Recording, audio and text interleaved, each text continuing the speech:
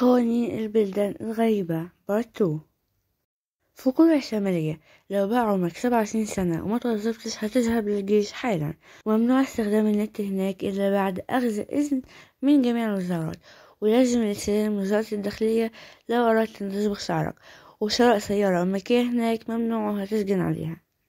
وتاني قانون بقى في ألمانيا. تقدر تحصل على رخصة قيادة من عمر أربعتاشر سنة بس.